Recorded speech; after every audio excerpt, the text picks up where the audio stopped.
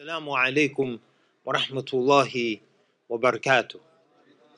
Alhamdulillah, it's a, it's a great honor, great pleasure to be here at MCC and to see the community is thriving, full of energy, vim, and vigor. May Allah preserve everyone, preserve your families, protect our youth, elevate our elders in our esteem. Walhamdulillah wassalat wassalam ala rasulillah. Unfortunately, I didn't get the memo about the Sha'ban talk. So I, I will, inshallah, talk a little about Sha'ban. Uh, but I'm going to talk about several things, in fact. I hope you'll forgive me. Uh, the first, I'm not going to repeat the talk that we gave at the Lighthouse. It was a very long talk, but I will start with the Black History Month, since this is February, and that's Black History Month. And as we said over there at the Lighthouse, uh, Black History Month wasn't given to the African American community as a slight. You know, we'll give you guys the shortest month. and we have Women's Month, March 31st days, and Black History Month get 28 days. But Black History Month built on the, the legacy of Carter G. Woodson, the great African American historian, second African American to get a PhD from Harvard University after the great W.E.B. Du Bois.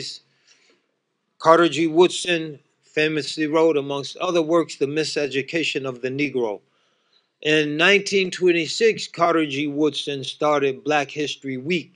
Black History Week was celebrated in the second week of February, not because February is the shortest month, but because February, the second week of February marks the birthday of Abraham Lincoln, February 12th, and the birthday of Frederick Douglass, February 14th. Hence, Black History Week in February, the second week of February.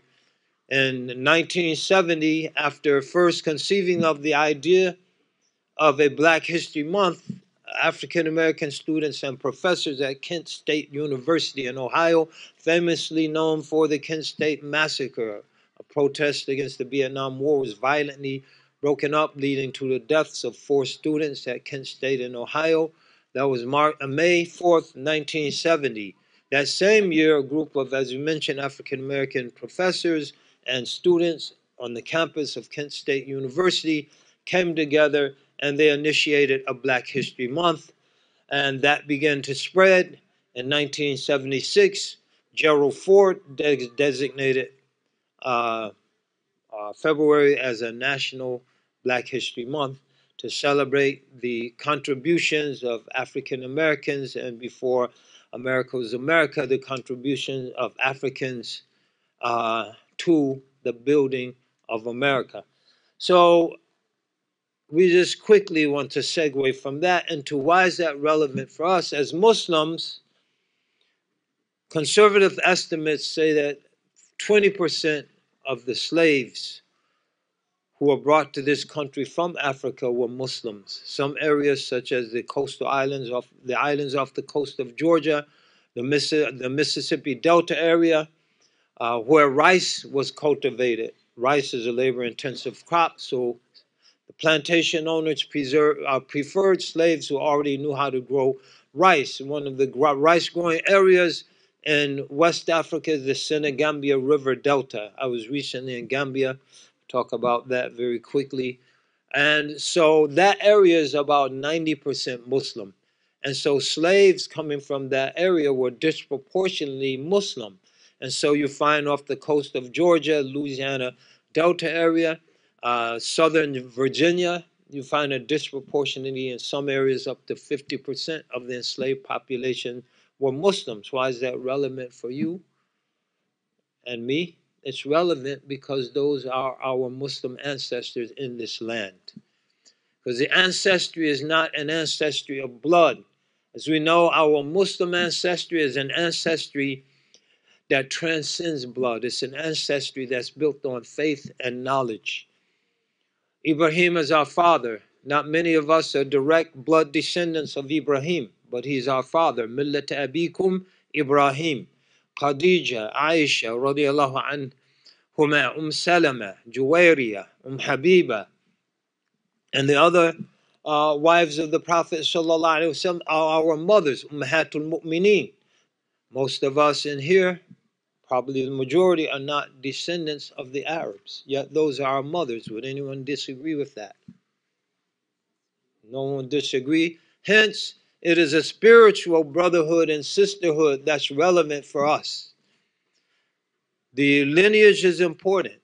We're people that acknowledge our roots and our lineages, but our ultimate allegiance is based on our faith, and those are our brothers and sisters in faith. Many of them were scholars. That's documented. So may Allah give us tawfiq and taysir to, to really feel a part of that history and to feel that we're building on that history and to not feel that we are recent arrivals who have no roots here and not to start feeling unwelcome when people to start to talk about a Judeo-Christian America. You said, no, my Muslim ancestors, ancestors were here even before America was America. Ayub bin Suleiman, Hafiz of Quran, a scholar who studied in Timbuktu, was here in 1731. His story, The Fortunate Slave, is the oldest extant work of African American literature a literary work about an African in the Americas, the fortunate slave, Job, Job bin Solomon, Ayub bin Suleiman. So we won't go into this story. You could go to Lighthouse and I think they archive that talk. But just to emphasize how important it is to acknowledge that history, because in acknowledging that history, we immediately gain deep roots in this country roots that transcend uh, the, the 1960s when the immigration laws were changed and the doors were opened for mig- migration of large numbers of Muslims from the Arab countries and particularly from South Asia. The State Department is still looking for the one person who gave the first Pakistani a visa because he had two suitcases filled, filled with male and female Pakistanis, and they were fruitful and they multiplied. I May Allah give us tawfiq and taysir. And and but and there, there are others. There are others. Uh, we can celebrate uh, those European American Muslims who who are part of the early history of this country, such as William Bethune English. We can celebrate the life of uh, Alexander Russell Webb, who was the American ambassador to, to the Philippines, who accepted Islam owing to the influence of the Muslims from Mindanao and the Philippines, and did incredible things once he returned to the States. We can celebrate that history. That's our history. We can celebrate those Syrians and Lebanese who went to Ross, South Dakota in the 1890s and built a masjid that's still there. It's been rebuilt, a beautiful little masjid. 92 square feet. If you ever go to visit, in the middle of a, of a wheat field. That's our history, or those Syrian and Lebanese in the 1930s who built the Mother Mosque in Cedar Rapids, Iowa, or those Albanian Muslims who built a, ma- a masjid in 1909 in Lewiston, Maine, and then other Albanians who built a, a, masjid in 1914 in Waterbury, Connecticut. That masjid still stands. It burned down in the 1940s. They rebuilt it. It's still there today. Or those Yemenis and Bengalis in the Central Valley here who came to help to, to cultivate and pick the crops to feed this country. And their presence so significant that many of them were, were instrumental in assisting Cesar Chavez and Dolores Huerta in the formation of the United Farm Workers Movement and the first shaheed of that movement. Because as the farm workers, under the leadership of Cesar Chavez and Dolores Huerta, began to organize, the, the, there was a violent, uh, they met violent opposition from the, the, the farm owners, the farmers, and landowners and there were martyrs. And the first martyr of the United Farm Worker was a Yemeni Muslim, Naji Dayfullah. So this is our history as Muslims in this country. It's a rich history. It's a deep history. It's a, and it's a history that brings us brings us all together. And as we come together now, and uh, just to conclude this part of the talk, many, if we talk about in the African American context, the largest kind of proto pseudo Muslim movement was the Nation of Islam. The members of the Nation of Islam, they refer to the period of Elijah Muhammad until the leadership of Imam Warithuddin Muhammad as the first resurrection, where what they were taught wasn't really Islam. It was a lot of psychological upliftment, uh, identity, building a positive ident- uh, identity. And so this was the first resurrection. And the second resurrection, Imam Warithuddin Muhammad, in, in a, a, a, phenom- a, a a development that is tremendously understudied. There should be myriad PhDs on the work of Imam Warithuddin Muhammad. Because if we can accept that what the nation of Islam was teaching was not Islam, that uh, W.D. Farrar or Fard Muhammad appeared as a law in Detroit, Michigan in 1930 to bring Islam to the black man in America, that doesn't sound like Islamic belief. Or, or that and, and Elijah Muhammad was the messenger of Allah to the black man in America after the Prophet Wasallam, that it had its place. I'm not trying to, as the young people might say, hate on the nation of Islam. I'm trying to make a point. And that point is, and uh, you know, the, the white race was grafted on the island of Patmos in the Mediterranean Sea by a big head black doctor named uh, Dr. Yaqub. So if you can accept that's not Islam per se, then Imam Warithuddin Muhammad bring half a million people out of that movement into Islam and uh, the Nation of Islam, uh, our fast is December because the days are short and cool. So it's a baby fast for a baby nation. Imam Warithuddin Muhammad brought the members of that, many of them, half a million into fasting Ramadan, half a million into La ilaha illallah Muhammad Rasulullah, half a million from praying like facing the east and praying like this to putting their head on the ground and making prostration to Allah five times a day, the salah as we know it. Make a change in the pilgrimage from Chicago, Illinois to attend Savior's Day to Me- going to Mecca. So Imam Warithuddin Muhammad, in my estimation, orchestrated the greatest single act of mass conversion in human history within a couple of years.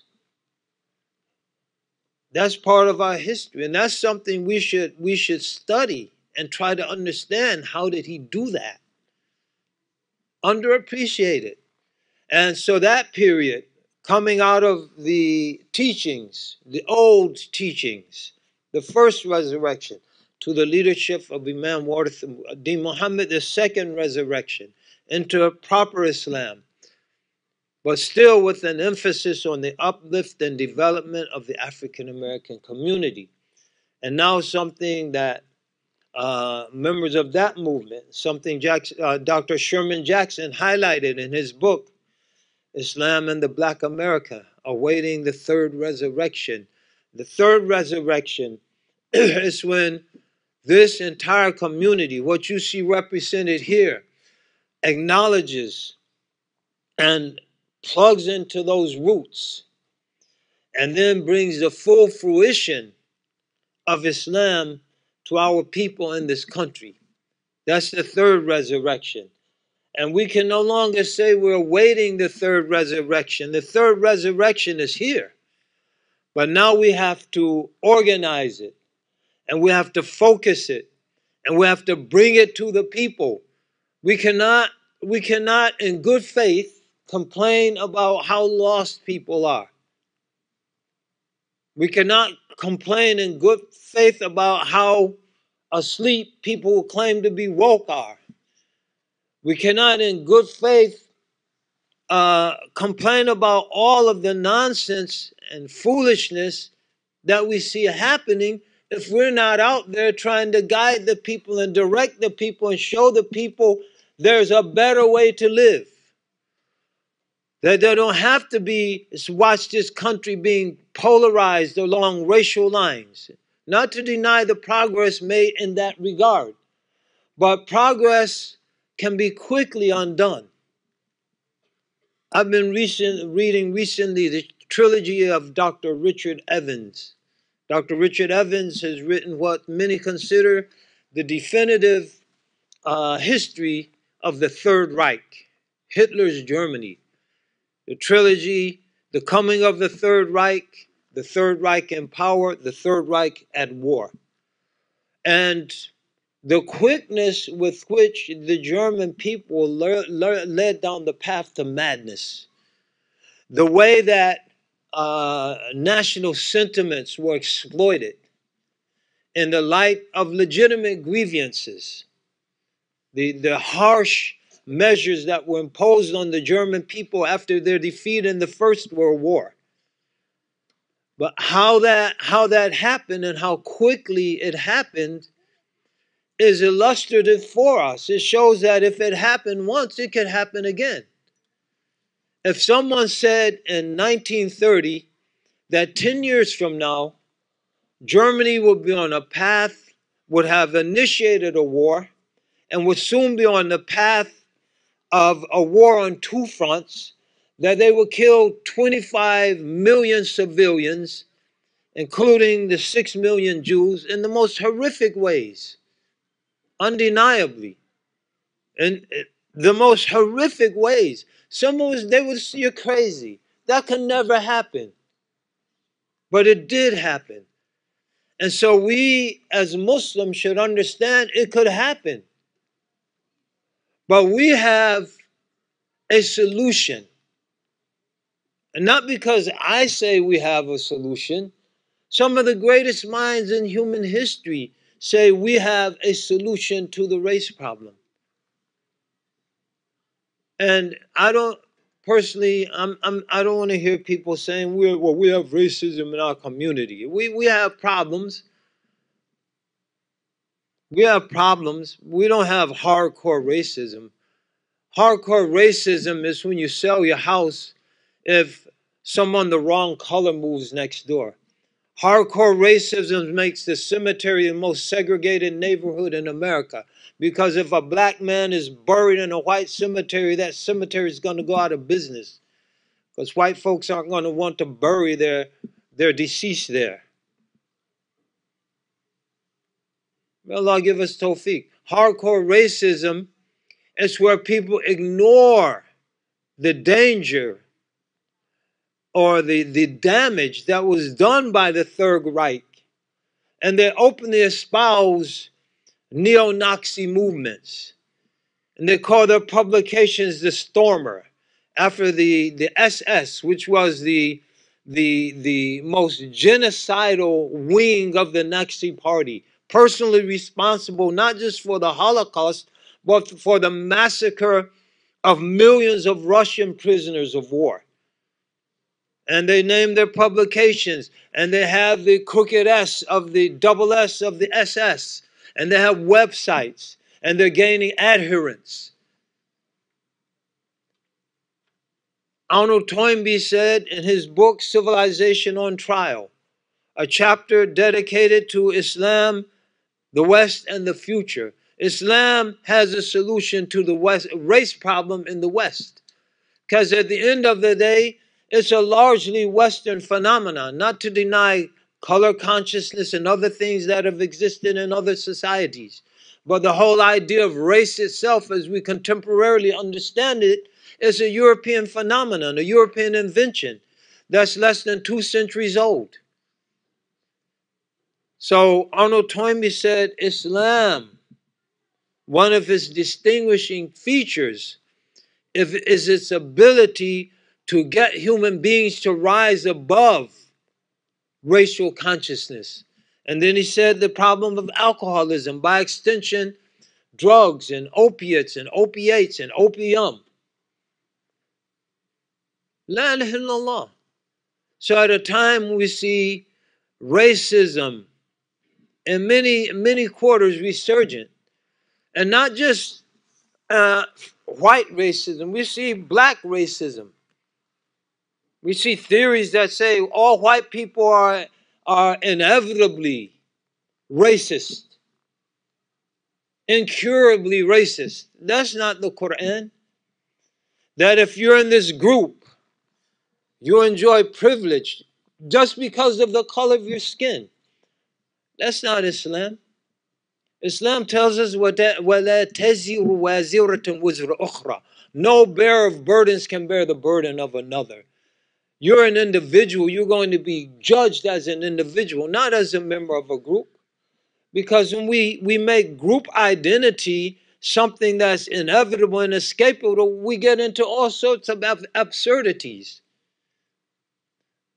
We, we say that some coal miner in Appalachia who lost his son in the Iraq war because he couldn't get a job, the guy was 50 years old, his life was done. He had black lung disease and his back bent out from stooping over for 30 years in a coal shaft and black lung from breathing coal dust.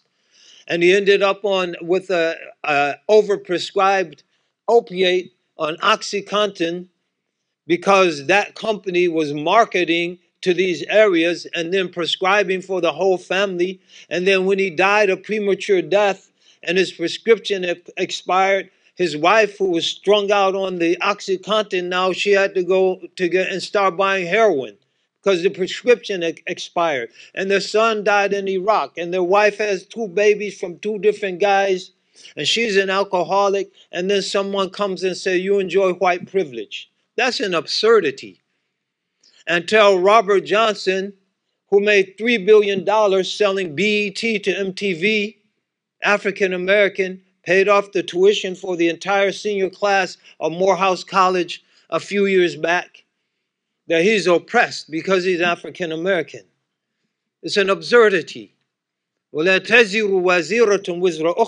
No bearer of burdens can bear the burden of another. Everyone will come to Allah, farda, as an individual for judgment. We have to be have confidence in what we believe. I was I was almost moved to tears. I was recently at Georgetown Law School, and the young lady was moderating hijab, Muslim sister.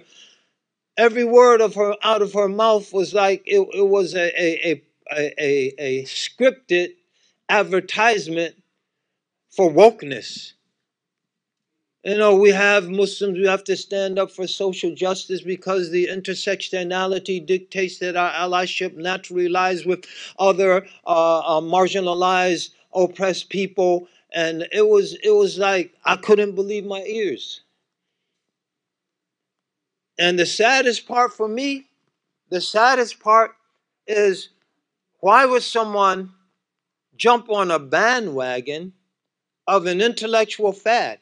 If you're here and you don't think it's an intellectual fad, then I would challenge your thinking.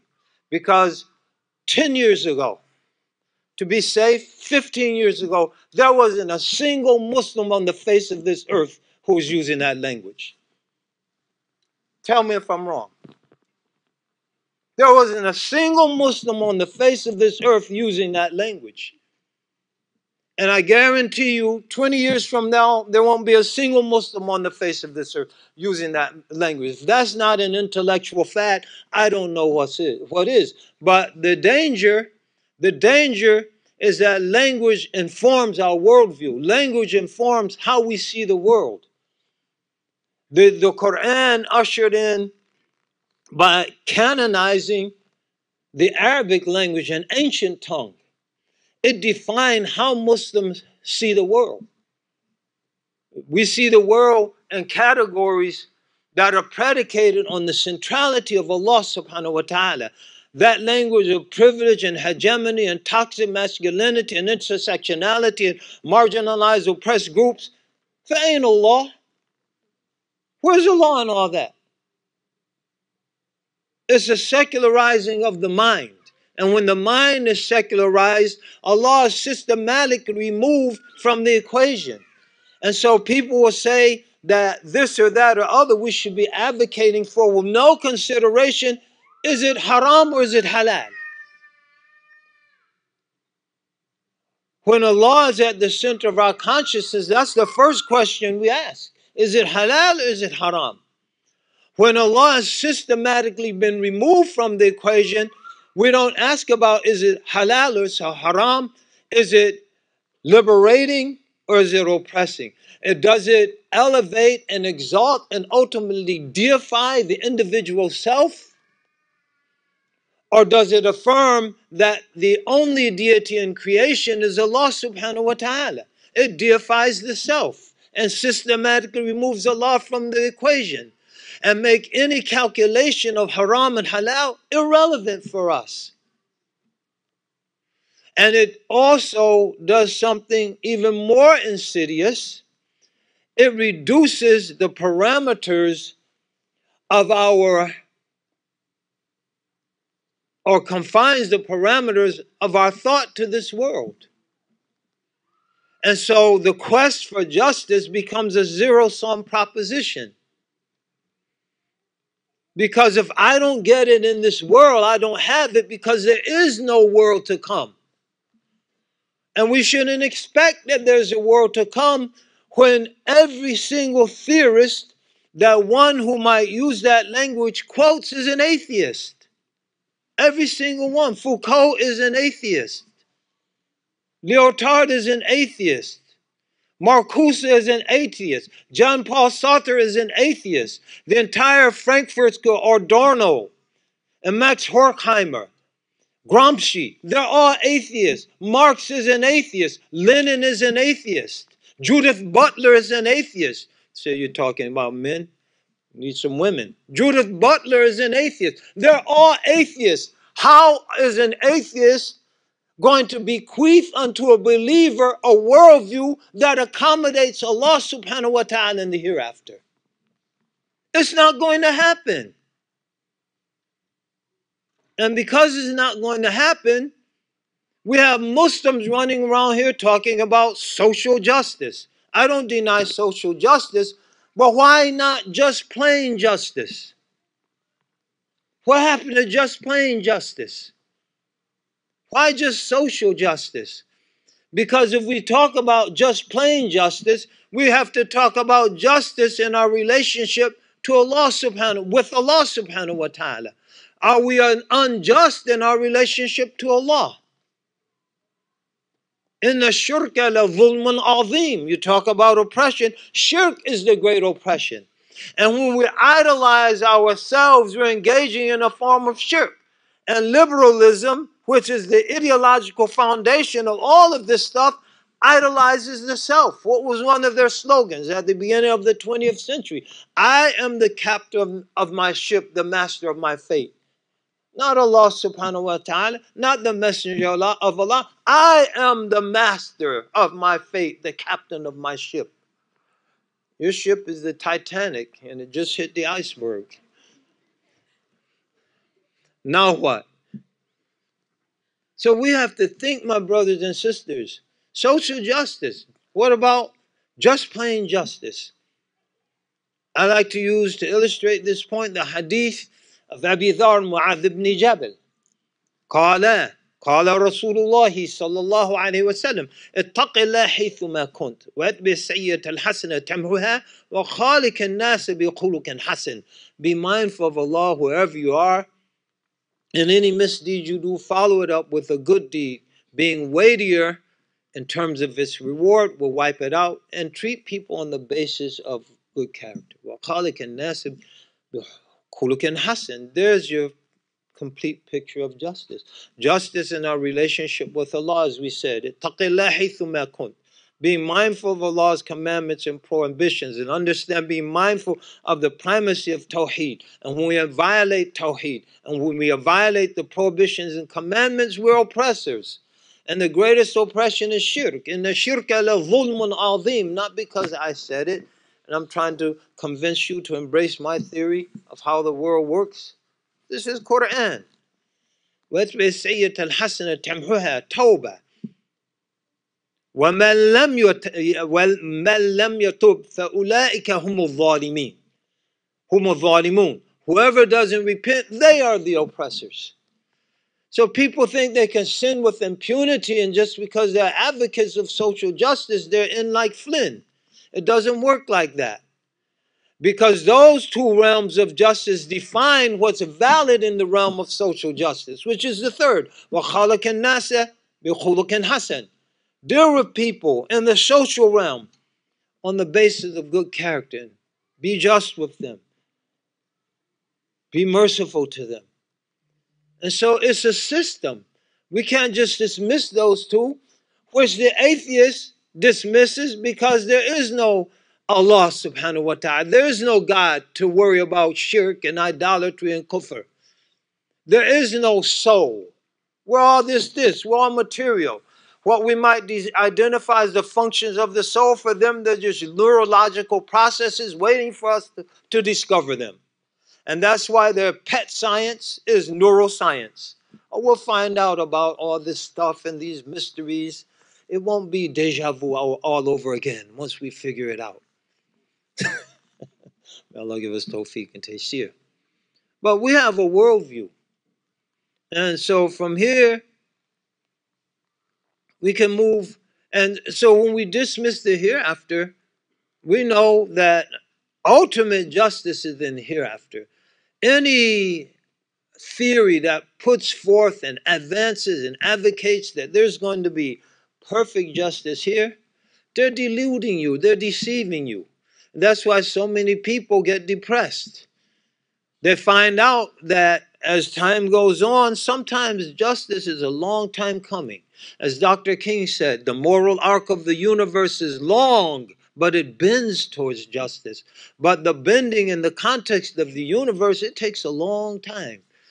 We've been struggling, we've been sacrificing and working, and many of us, we haven't seen justice.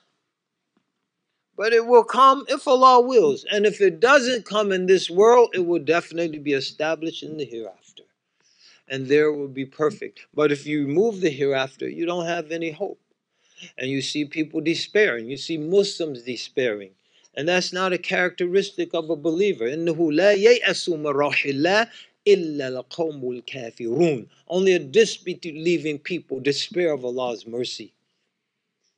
But if you don't believe in Allah, either in a real sense or in a de facto sense, because one's mind and thought process has been secularized, then it's going to be, this world is going to be a very depressing place. We had the earthquake in Turkey, and like the tsunami in 2000, December 2004. The hardest hit area was Aceh. Aceh is the most religious uh, part of Indonesia. Our sister Diane Elian is there. By the grace of Allah, I got to spend 10 days, at, two days rather, at her orphan in, in Oujda, in, uh, near the uh, Moroccan Algerian border, and this past January. Beautiful organization, wonderful. It's all girls, young ladies there. MashaAllah, dedicated staff, beautiful facility. May Allah preserve them. Allahumma salli rasulillah. Where was I? If I went on that tangent. Testing all of you. Huh? Yes. Thank you. So the tsunami struck. People in the West were, were saying, you know, Christians were apostating. Where, where's God's mercy? Look at this terrible occurrence. Earthquake in Turkey, it's terrible. Where's, where's the merciful God? What's the believer saying? Alhamdulillah. Everyone who died, they're a martyr. الشهداء خمسة المتعون مطعون والمبتون والغارق وصاحب الهدم والشهيد في سبيل الله the one who dies in a demolished structure 4 a.m. in the morning sleep most of those people perished they were asleep never knew what happened and some were injured and they suffered. What, how does the believer see suffering? Nothing afflicts the believer, even a pricking of a thorn, except some of their sins are expiated because of that. And the martyr goes to Jannah. Fast track. or Easy Pass, whatever. I get confused. Bipost, bicoastal. Some people, some bipolar. I don't know. Easy Pass, fast track, straight to Jannah. There's Allah's mercy. Khalidina fiha abada, dwelling there forever. There's Allah's mercy. Those who suffered and wounded, sins expiated. There's Allah's mercy. But if we don't believe in the hereafter, if we don't believe that there's a God, that Allah subhanahu wa ta'ala can wipe away our sins, if we don't even believe in the concept of sin, then where's the foundation for us really understanding at a deep level Allah Ta'ala's mercy? The ability to sacrifice. If we uh, uh, deify ourselves, it becomes very difficult to sacrifice for others. Wonder why it's so difficult to get married when everyone's deifying themselves. Anna, Anna, Anna. أفرأيت من اتخذ إلهه هواه وضله الله على علم وختم على سمعه وقب على سمعه وقلبه إلى آخر الآية Have you not? None. وجعل بصري غشاوة فمن يهديه من بعد الله أفلا تعقلون أفلا تذكرون So have you not seen the one that takes their very whims as their God? People worshiping their whims themselves. If everyone's worshiping themselves, what's the foundation for sacrificing for others? But if we're worshiping Allah subhanahu wa ta'ala and we understand the sacrifices we make for others are rewarded by Allah subhanahu wa ta'ala. The sacrifices we made for others, for others, are a, a source of enhancing our standing with Allah subhanahu wa ta'ala. The sacrifices we made for others make for others are the foundation for building a strong society.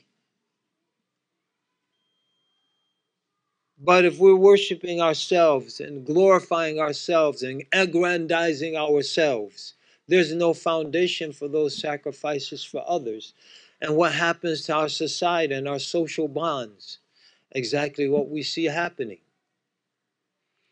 When we see everything as progress, and only the only good in human society lies in progress, then we devalue the past. And in devaluing the past, we reject the spiritual foundations that those who preceded us have built. And that energy is very important for pushing us forward further down the road of history. I truly believe that it, the, the, the prayers that were made by those uh, Muslims who preceded us, who were being exploited, and their blood, sweat, and tears built this country for free labor. That they prayed that one day there will be Muslims here who would be able to do something they couldn't do. They could worship, they could pray if they had the strength, but they couldn't build an MCC. They couldn't build the, the, the schools and the madaris. They couldn't build a Masjid al Huda. They couldn't build Quran schools. They had mushaf circulating, that's documented, but they couldn't build institutions. And because they couldn't build institutions, they could not establish the foundation of knowledge that is the bedrock of this community. As the great Orientalist Franz Rosenthal in his book, Knowledge Triumphant, Islam is the only knowledge based society, uh, civilization in human history. So, unlike other civilizations, the Chinese civilization, Confucian civilization, is not found outside of China, just rare pockets. The civilization of the Buddhists isn't found outside of South Asia and Southeast Asia. The Nilotic civilization of Kush and then Nubia and then Egypt is not found outside of the Nile River Valley The Mayans aren't found outside of the Yucatan Peninsula. The Incas aren't, aren't found outside of the Andes Mountains, primarily in Peru.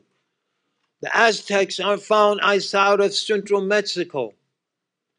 All the civilizations, they're localized, either based on geography or based on tribe or clan. Islam had a civilizational flourishing amongst the Arabs. It has a civilizational flourishing amongst the Persians, a civilizational flourishing amongst the Turks, a civilizational flourishing amongst the Africans. Great civilization, the wealthiest civilizations in, in the world at their time. We all know about Mansa Musa's Golden Hajj, the greatest university and centers of learning at Timbuktu and other and Jenne and Gao and other centers of learning and commerce and civilization and amongst the Europeans in Andalusia, in the Balkans. Why? Because it's not based on race, it's not based on geography, it's based on knowledge.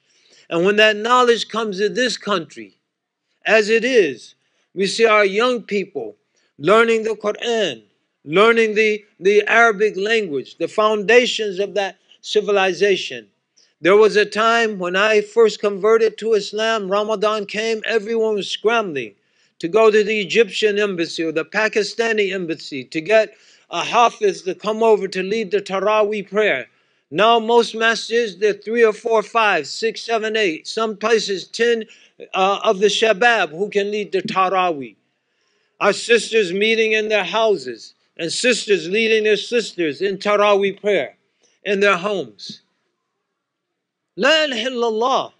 It's happening, brothers and sisters. We have to have eyes to see it and to appreciate it. And this leads us to Shaban, which leads us to Ramadan.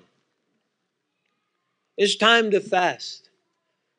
It's time for us to minimize the, the, the influence that the physical has over us and to bring to, to the fore the spiritual. And we do that through the Quran, we do that through the fasting, we do that through missing sleep. And that's part of the process. Don't refuse to come to Taraweeh because you're going to miss two hours of sleep. That's part of the process. Don't fail to eat the pre dawn meal because you're going to sleep to 20 minutes before Fajr goes out so you can get two hours of extra sleep. Missing sleep is part of the process. Imam Ibrahim al-Nakhai, rahimahullah, he said, هلك من هلق قبلكم بثلاث خصال فضول الطعام وفضول الكلام وفضول المنام. The people who were ruined before you were ruined because of three characteristics too much eating, too much sleeping, and too much talking. Ramadan cuts down on all three. If we're staying for Taraweeh and we're getting up for Suhoor, we're sleeping less. Naturally, we're fasting, we're eating less. And we're so tired towards the latter part of the day, we're talking less. We, we start monitoring the call, call ID. and nah, this is going to have to wait until after iftar. And then we know the etiquette of the, the fast in terms of controlling our tongues.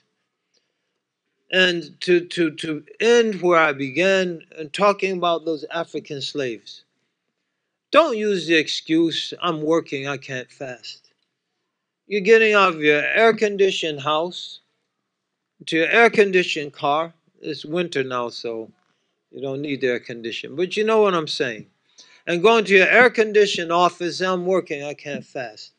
My dear brothers and sisters, Slaves, many of those slaves are documented by the likes of Dr. Sylviane Diouf, Michael Gomez, and others. Dr. Michael Gomez. They were fasting, many of them on a starvation diet. A slave was systematically starved to death. The working life of a slave, average slave, was 14 years. And the master wanted them to drop dead after 14 years.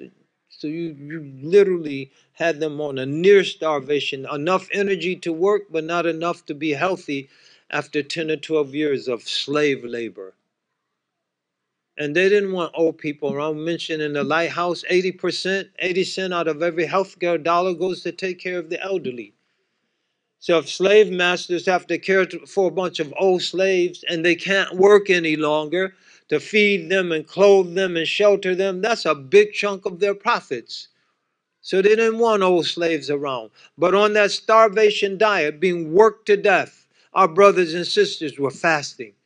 And so as we approach Ramadan, let us approach it in that spirit.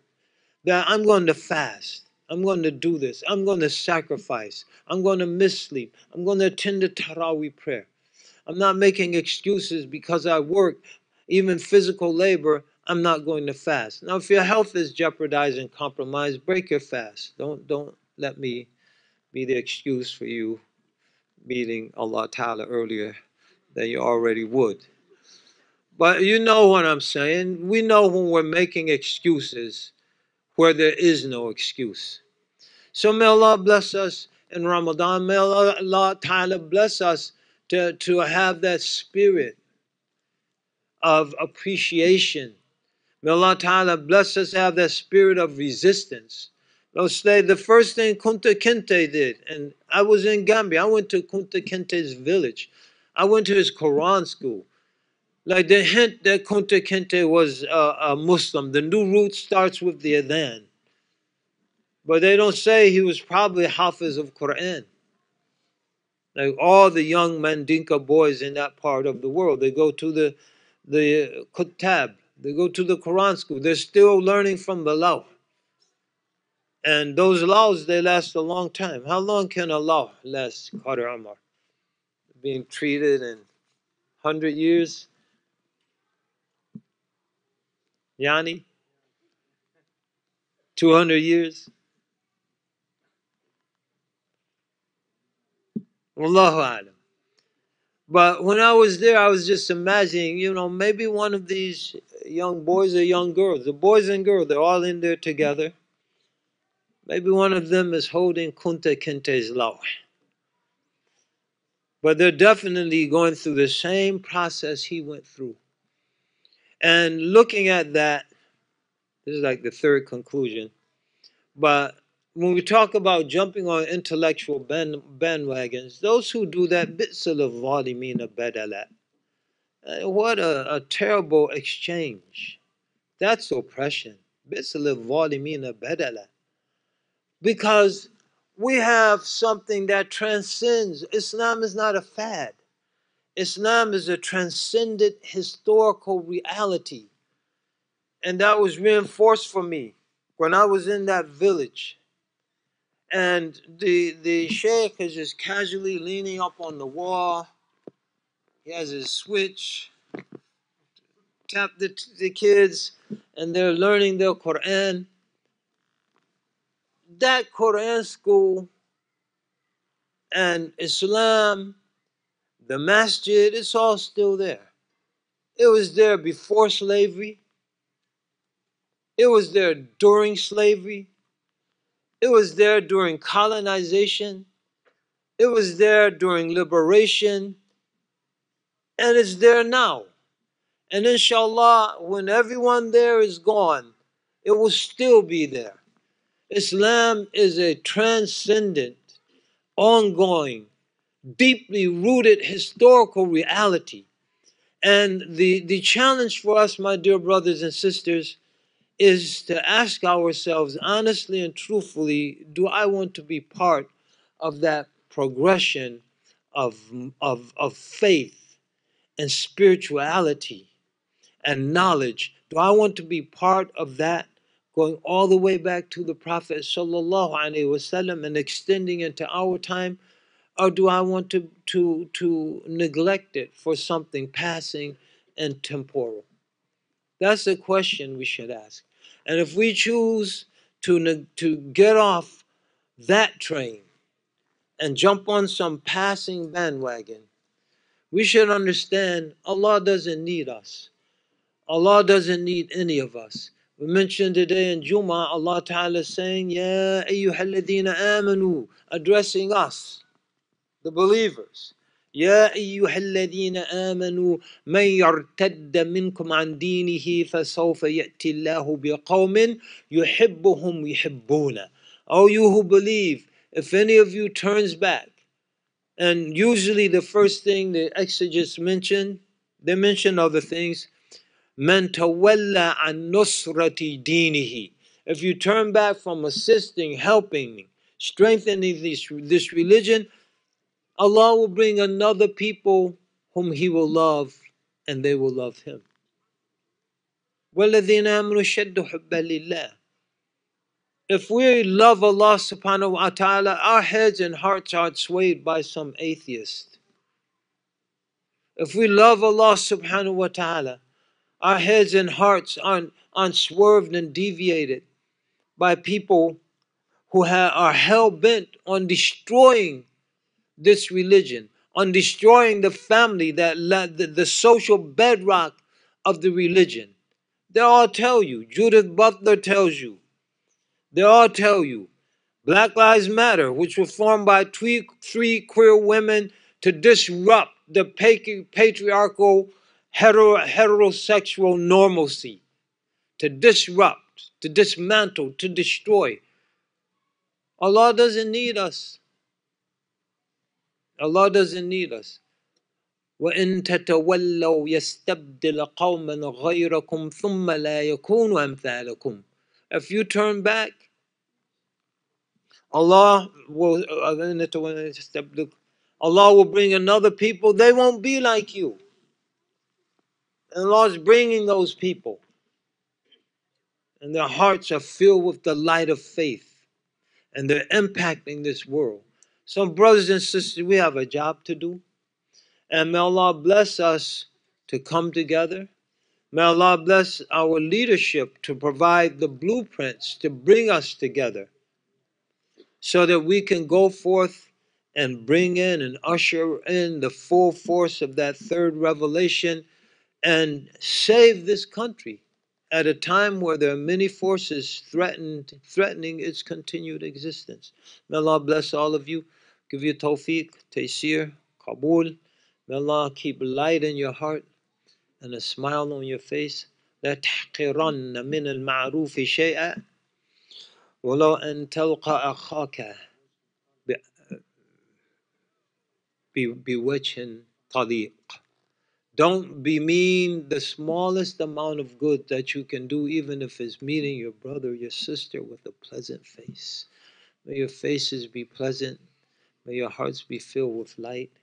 May, may we steel ourselves and prepare ourselves for the work ahead. May we take this religious seriously. This is not a joke. This is serious business.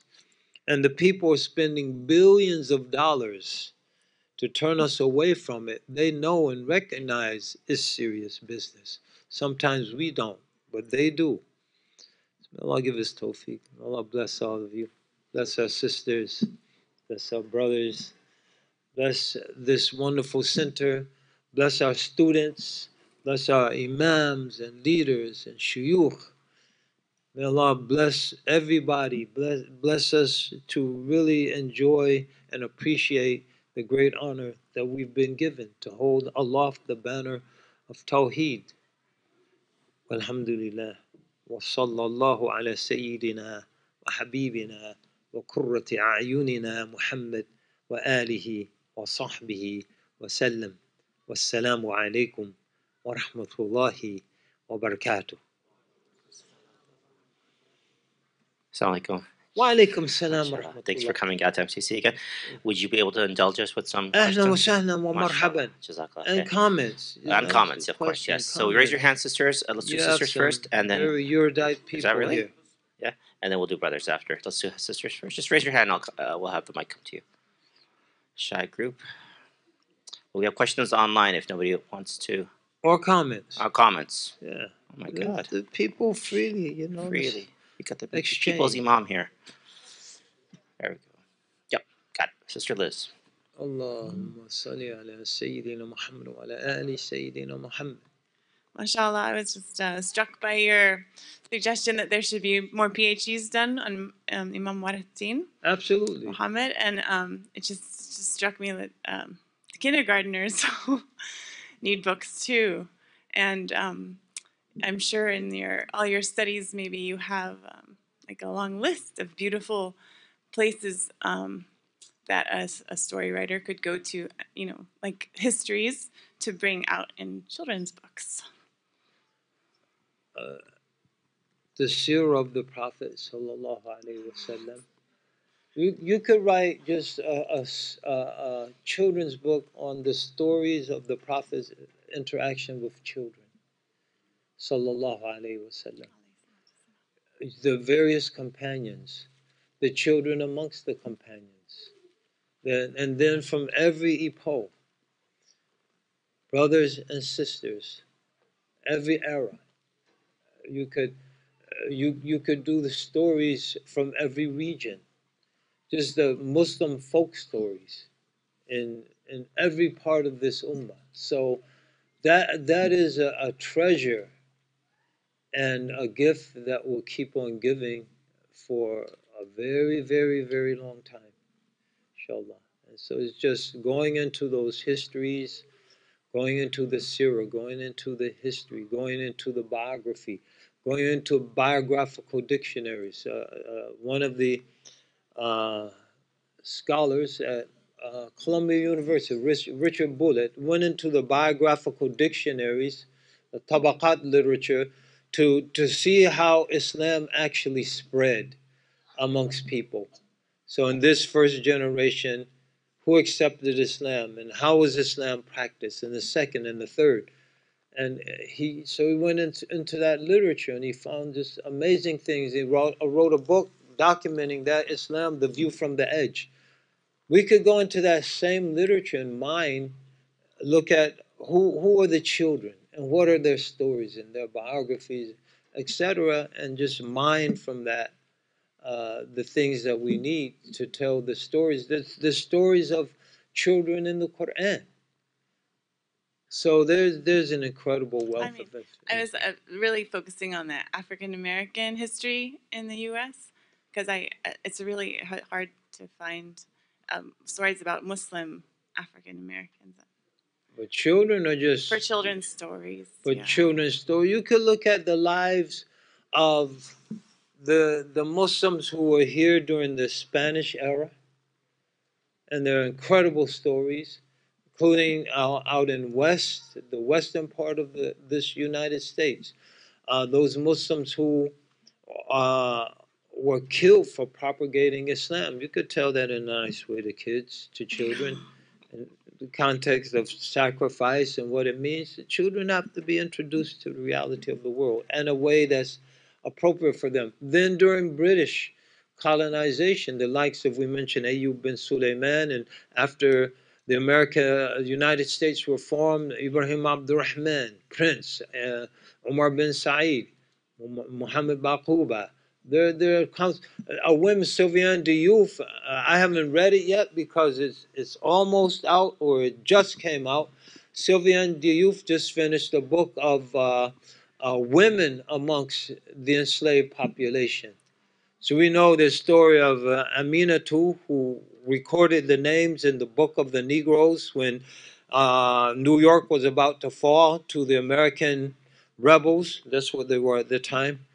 The American rebels and the, the American rebels have promised to send those uh, uh, escaped slaves back to the South. So the British uh, brought them to Canada and they recorded their names in a log that became known as the Book of the Negroes. And the, there was a Muslim woman, uh, uh, Aminatu, who was the scribe recording the names in the Book of the Negroes.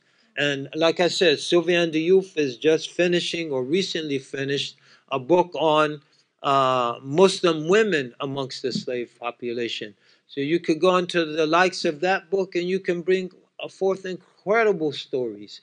Uh, Mother Teresa was the wife of uh, Sheikh Dawood Faisal in New York City in the late 30s, 40s, 50s, into the 60s. And uh, Sheikh Dawood gave dawah to Malcolm X. You could Google and see just go to Google images, Malcolm X and Dawood Sheikh Dawood Faisal, and you could see Malcolm listening very intently to what Sheikh Dawood is saying to him. Uh, so, but his wife, Mother Teresa, you study her story, you'll find amazing things. But people are starting to die. We have to. Uh, some of our students want to be do meaningful dissertations. Go to New York, go to Brooklyn, and, and talk to some of those old timers who are still around, and get the stories of Sheikh Dawood and the stories of of um, Mother Khadija. I was saying Mother Teresa, Mother Khadija, and get that recorded. Uh, there are a lot of uh, uh, incredible souls uh, who whose stories you could write a children's book on on the life and career of Dr. Fatima Jackson, who got her PhD at UC Berkeley, world class uh, geneticist. She was chair of the African American Studies Department. Her career primarily University of Maryland. She taught at Howard. She was the chair of the African American Studies at uh, North, U, UNC, North, Carolina, Chapel Hill. Her all of her children have PhDs, like five or six children. They all have PhDs. She started a school where she had professors from local universities teaching at a a a for lack of a better word, a storefront high school for for young African American males, being being taught by pro bono by professors from University of Maryland and Howard, etc. So that story alone would would be so incredible. So just use your imagination. Yes, sir. وعليكم السلام ورحمة الله وبركاته. Just a second.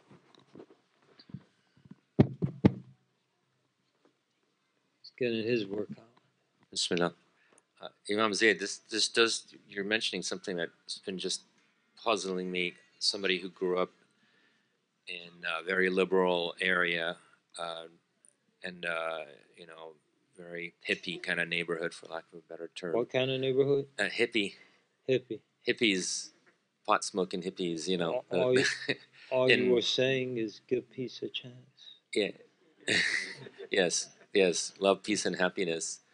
And, it, and some, a lot of it resonated for me. At least, you know, the peacefulness. You didn't and- smoke any hippie grass. I was the only one that didn't. according to what- yeah, Alhamdulillah. I was offered it many times. um, but uh, you know, that's how where I grew up. And then, and then even you look in politics. There's the you know on the left. There's you know anti. There's at least there's anti-racism, trying to you know the argument for equality. And then on the right, there's racism. But then there's there's there's a focus on religi- religiosity, whereas on the left it's like anti-religiosity where how like in the United States it almost seems like they're split, like perfectly split and split in such a I would be like shape, you know, Uh, devilish way that you can't Uh. Well, I way. would I would say we have to look beyond the labels. I, I would challenge the premise of uh, anti-racism on the left. California is the the most left-leaning state in the union. It has the largest prison population. If it were an independent nation, it would have the third largest prison population on earth, and the overwhelming majority of those incarcerated individual are African American uh, or Latino and African American and Native. And so that's California. You know, we have some of the most segregated neighborhoods. And, and so I, I and and and uh, we have some of the, the most segregated schools in terms of their performances. Like if you're uh, Abdul Haq, what's the dropout rate for in Oakland compared to somewhere like San Ramon or Pleasanton? Night and day in California, liberal California. So you know, I would I would challenge just the basic premise of that question, but under, I think as Muslims, ostensibly. The, yeah, yeah. The image. That's what I was gonna say. it. Let's, but let's take it, Yeah. uh, yani, for the sake of argument. We have to we have to form our own political agenda, and shop that between the parties, as opposed to uh, being bought and sold and pimped by the political parties. We, we have to have an independence based on our vision. And then if the, re, if the Democrats are going to meet us here, then we'll, we'll do business on this issue with the Democrats. And if Republicans are going to meet us there, we'll do business with the Republicans. But this whole idea of sort of the, the whole political question being, we used the term once, I'll use it again, a, a zero sum proposition where it's all with the Democrats Yeah. or all with the Republicans, Mhm. And there's no third choice. There is a third choice. And we should begin to position ourselves as the third choice and invite people to jump on our bandwagon. But we have to have confidence in ourselves as a community. And that leads to something Malcolm was uh, emphasized greatly that if, if you if we confine ourselves as Muslims in terms both at the level of consciousness that uh, my awareness of what it means to be a Muslim is confined to the boundaries of the United States, or in terms of our membership in a global community, then we're going to be weak and uh, we're going to perceive ourselves as being weak and we're going to be insecure, and that weakness, perception of weakness, and that insecurity will lead us to making the kind of political compromises we're making. But we're part of an ummah. We're part of an ummah, and we have to see ourselves as such. And when we see ourselves as such, then we can not only begin to formulate our own programs that a lot of Republicans who might see the same kind of situation you described, or Democrats say, you know what? I like what these Muslims Yeah. are saying Middle way. uh, you, you you know you you don't have to uh, get in bed with a, a, a party that I would argue some would disagree is essentially the party of white nationalists, even though it has a lot of support from African Americans. You don't have to ac- accept that just to have uh, healthy family values yeah, that's so and you don't have to wave a rainbow flag to to be serious about ecological issues that there is a third way. And as muslims we have to begin to articulate that third way confidently believing in ourselves. And i, I think it would be amazing what would happen if we do that. And then so that's domestic and then internationally we began to uh, as a community enter into dialogue with foreign Muslim pow- uh, powers, as opposed to part of the community is is aligned with Qatar formally when Qatar was against the UAE, Qatar beef was going on, and part of the community is aligned with the UAE.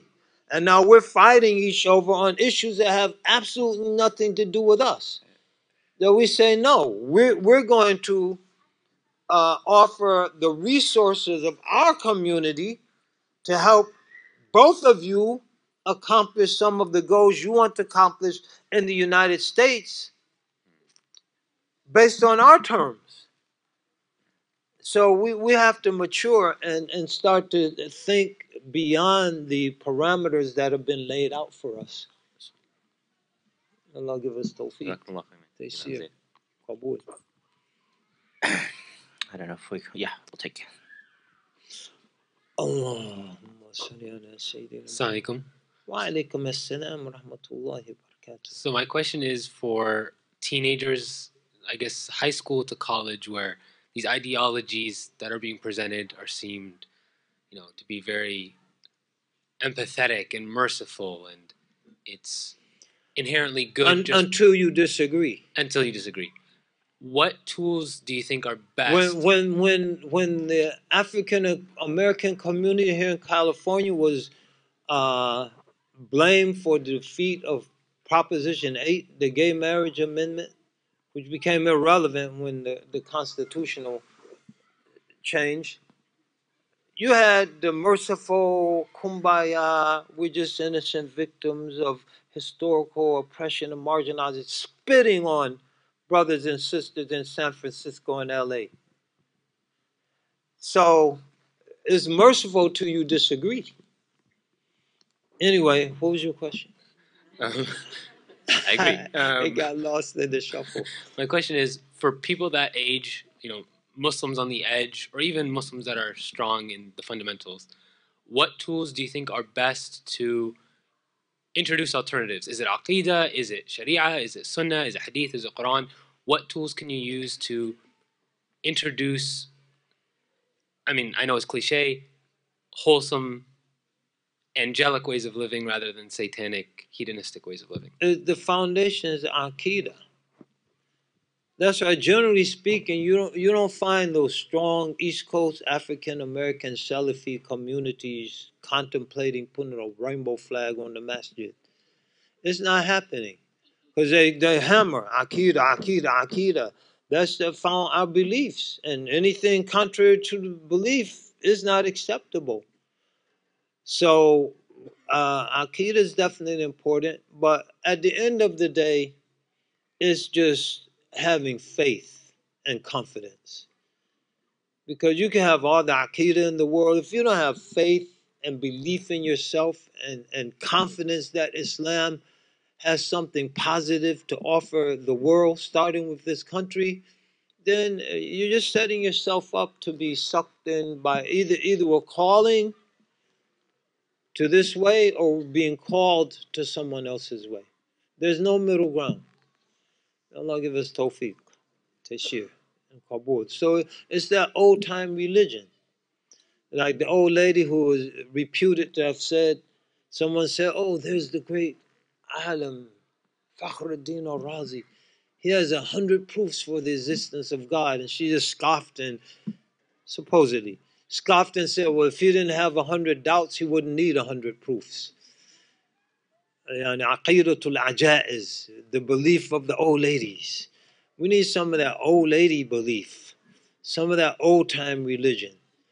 And and and and then we'll be on the I mean, I was ter- I was terrible in grad school. I was like I, I look back on it, professor probably thought I was crazy, but we're like, no, Islam challenges that idea. We were like on the warpath.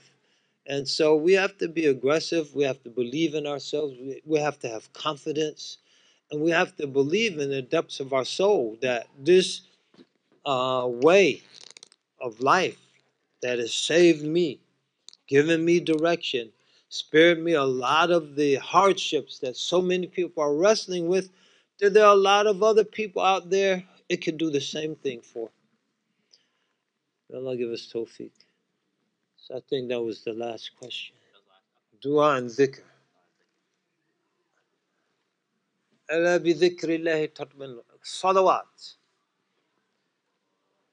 أعوذ بالله من الشيطان الرجيم بسم الله الرحمن الرحيم إن الله وملائكته يصلون على النبي يا أيها الذين آمنوا صلوا عليه وسلموا تسليما اللهم صل على سيدنا محمد وآله وسلم. اللهم صل على سيدنا محمد وآله وسلم.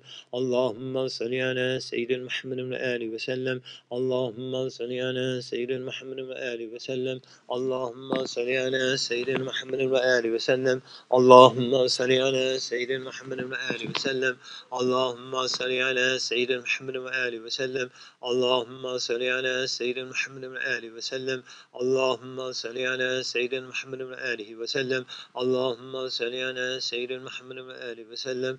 اللهم صل على سيدنا محمد وآله وسلم. اللهم صل على سيدنا محمد وآله وسلم. اللهم صل على سيدنا محمد وآله وسلم. اللهم صل على سيدنا محمد وآله وسلم. اللهم صل على سيدنا محمد وآله وسلم. اللهم صل على سيدنا محمد وآله وسلم. اللهم صل على سيدنا محمد وآله وسلم. اللهم صل على سيدنا محمد وآله وسلم. اللهم صل على سيدنا محمد وآله وسلم. اللهم صل على سيدنا محمد وآله وسلم اللهم صل على سيدنا محمد وآله وسلم اللهم صل على سيدنا محمد وآله وسلم اللهم صل على سيدنا محمد وآله وسلم. اللهم صل على سيدنا محمد وآله وسلم. اللهم صل على سيدنا محمد وآله وسلم. اللهم صل على سيدنا محمد وآله وسلم. اللهم صل على سيدنا محمد وآله وسلم. اللهم صل على سيدنا محمد وآله وسلم. اللهم صل على سيدنا محمد وآله وسلم. اللهم صل على سيدنا محمد وآله وسلم. اللهم صل على سيدنا محمد وآله وسلم. اللهم صل على سيدنا محمد وآله وسلم. اللهم صل على سيدنا محمد وآله وسلم. اللهم صل على سيدنا محمد وآله وسلم. اللهم صل على سيدنا محمد وآله وسلم. اللهم صل على سيدنا محمد وآله وسلم. اللهم صل على سيدنا محمد وآله وسلم. اللهم صل على سيدنا محمد وآله وسلم. اللهم صل على سيدنا محمد وآله وسلم. اللهم صل على سيدنا محمد وآله وسلم. اللهم صل على سيدنا محمد وآله وسلم. اللهم صل على سيدنا محمد وآله وسلم. اللهم صل على سيدنا محمد وآله وسلم. اللهم صل على سيدنا محمد وآله وسلم. اللهم صل على سيدنا محمد وآله وسلم. اللهم صل على سيدنا محمد وآله وسلم. اللهم صل على سيدنا محمد وآله وسلم. اللهم صل على سيدنا محمد وآله وسلم. اللهم صل على سيدنا محمد وآله وسلم. اللهم صل على سيدنا محمد وآله وسلم. اللهم صل على سيدنا محمد وآله وسلم. اللهم صل على سيدنا محمد وآله وسلم. اللهم صل على سيدنا محمد وآله وسلم. اللهم صل على سيدنا محمد وآله وسلم. اللهم صل على سيدنا محمد وآله وسلم. اللهم صل على سيدنا محمد وآله وسلم. اللهم صل على سيدنا محمد وآله وسلم. اللهم صل على سيدنا محمد وآله وسلم. اللهم صل على سيدنا محمد وآله وسلم. اللهم صل على سيدنا محمد وآله وسلم. اللهم صل على سيدنا محمد وآله وسلم. اللهم صل على سيدنا محمد وآله وسلم. اللهم صل على سيدنا محمد وآله وسلم. اللهم صل على سيدنا محمد وآله وسلم. اللهم صل على سيدنا محمد وآله وسلم. اللهم صل على سيدنا محمد وآله وسلم. اللهم صل على سيدنا محمد وآله وسلم. اللهم صل على سيدنا محمد وآله وسلم. اللهم صل على سيدنا محمد وآله وسلم. اللهم صل على سيدنا محمد وآله وسلم. اللهم صل على سيدنا محمد وآله وسلم. اللهم صل على سيدنا محمد وآله وسلم. اللهم صل على سيدنا محمد وآله وسلم. اللهم صل على سيدنا محمد وآله وسلم. اللهم صل على سيدنا محمد وآله وسلم. اللهم صل على سيدنا محمد وآله وسلم. اللهم صل على سيدنا محمد وآله وسلم. اللهم صل على سيدنا محمد وآله وسلم. اللهم صل على سيدنا محمد وآله وصحبه وسلم. بسم الله الرحمن الرحيم. الحمد لله رب العالمين والصلاة والسلام على سيد المرسلين سيدنا محمد وعلى آله وصحبه وسلم تسليما كثيرا. اللهم اجعل جمعنا هذا جمعا مرحوما وتفرقنا من بعد تفرقا معصوما. ولا تدع عندنا ولا فينا ولا معنا شقيا ولا محروما. اللهم اقسم لنا من خشيتك ما تحول ما تحول به بيننا وبين معاصيك ومن طاعتك ما تبلغنا بها جنتك ومن اليقين ما يهون به علينا مصائب الدنيا ومتعنا بأسمائنا وأبصارنا وقوتنا ما أحييتنا. واجعله الوارث منا. واجعل ثأرنا على من ظلمنا وانصرنا على من عادانا. ولا تجعل مصيبتنا في ديننا. ولا تجعل مصيبتنا في ديننا. ولا تجعل مصيبتنا في ديننا ولا تجعل الدنيا أكبر همنا ولا مبلغ علمنا ولا تسلط علينا بذنوبنا من لا يخافك ولا يرحمنا. يا أرحم الراحمين واعف عنا واغفر لنا وارحمنا. أنت مولانا فانصرنا على القوم الكافرين. اللهم إنا اللهم إنا نسألك نسألك الهدى والتقى والغنى والعفاف والمغفرة Ya Allah, we're standing here at the doors and the gates of your mercy in the month of Sha'ban, eagerly anticipating Ramadan. Bless us to take advantage of these days, Ya Allah, to begin fasting, to begin uh, engaging with the Book of Allah more than we might have engaged during the months that preceded this month of Sha'ban, Ya Allah. Bless us to start fasting. Bless us to engage with the Book of Allah. Bless us to prepare ourselves for the entrance of the month, the blessed month of Ramadan. Ya Allah, Ya Allah, we ask you that you guide everyone and bring everyone who has come here to the gathering safely back to their residence, to their places of repose. Ya Allah, bring them safely back to their families. Ya Allah, Ya Allah, we ask you that you protect everyone, that you uplift and inspire everyone, that you bless us to come together, Ya Allah as one unified community with our distinctions for sure, as the Ummah of Muhammad sallallahu alaihi wasallam has its distinctions, but ultimately as one army marching in one direction towards one goal, and that is the service and the elevation of the word of truth, the word of truth, the word of Tawheed in this world, Ya Allah, and to help people to find life through the life giving message of Islam, Ya Allah.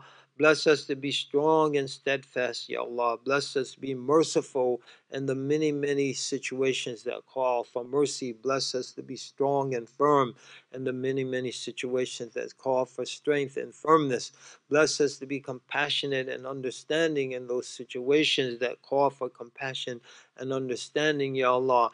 Allah, spare us and drive ignorance away from us. Bless us to be qualified and known as people of knowledge, people of integrity, people of dignity, people with a solid commitment to you, Ya Allah, and a love for you, Ya Allah, and a love for your Prophet Muhammad sallallahu alaihi wasallam, and a love for the Sharia, Ya Allah, and a love for the ethical system of Islam, a love that's predicated at every level, our love for you, our love of the Messenger, our love for the the the mor- the morals and morality, a love for the beliefs that is all predicated on the beauty that exists in all of those, Ya Allah. Your beauty, Ya Allah, in Allah Jameel Jamal. Allah is beautiful. May we recognize your beauty, Ya Allah, and the beauty of the Messenger of Allah, sallallahu alaihi wasallam, and the beauty of our moral system and moral code, Ya Allah, and the beauty of the general teachings of the religion, Ya Allah, the beauty of the law, Ya Allah. When we, you bless us to understand, to embrace, and to love all of that, Ya Allah, the love for your people, Ya Allah, to call the people of this Ummah da'wah, the Ummah, the wider Ummah of Muhammad sallallahu alayhi wasallam, to the way of Muhammad sallallahu alayhi wasallam. ومن أحسن قولا ممن دعا إلى الله وعمل صالحا وقال إنني من المسلمين and who is best in speech, better in speech than one who calls to Allah and does righteous deeds and says proudly, verily I am amongst the Muslims. Bless us to be those who call to your way, Ya Allah. Bless us to be those whose deeds are righteous and pious, Ya Allah. Bless us to be proud to say La ilaha illallah, to be proud to say that we are Muslims, Ya Allah. Not an arrogant, vainglorious pride, but a pride that's, uh, that's rooted in the happiness and the joy of knowing that we're undertaking an affair that's beloved to you that we've been commissioned with by you, Ya Allah. Ya Allah, Ya Allah, Ya Allah.